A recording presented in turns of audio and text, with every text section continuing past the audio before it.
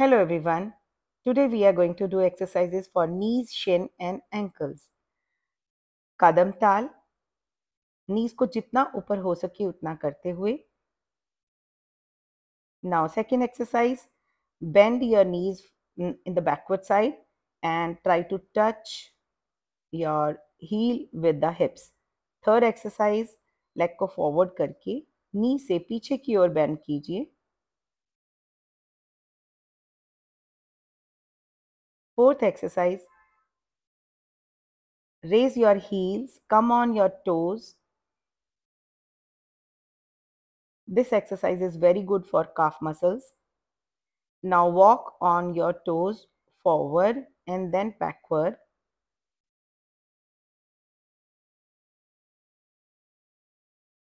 You can repeat these exercises now on heels, raising your toes and walking on heels.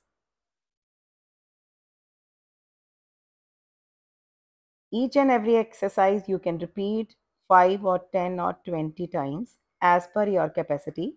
Now next exercise is for ankles. Move your leg forward and move your ankle up and down 5 to 10 times. Right to left 5 to 10 times. Then clockwise 5 rotations and anti-clockwise 5 rotations. You can repeat this with other leg. Rather, you should repeat with both legs.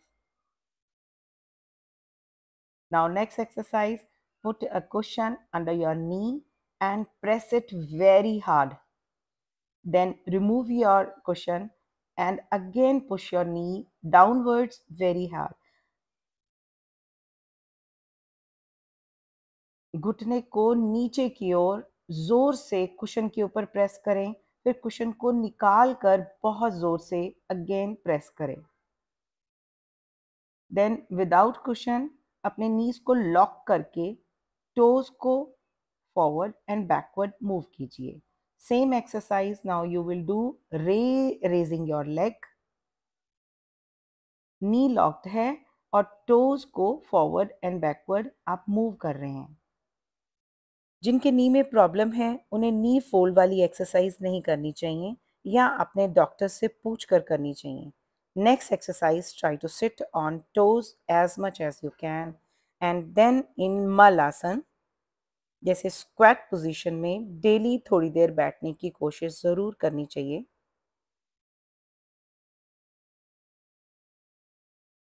Thanks for watching नमस्कार।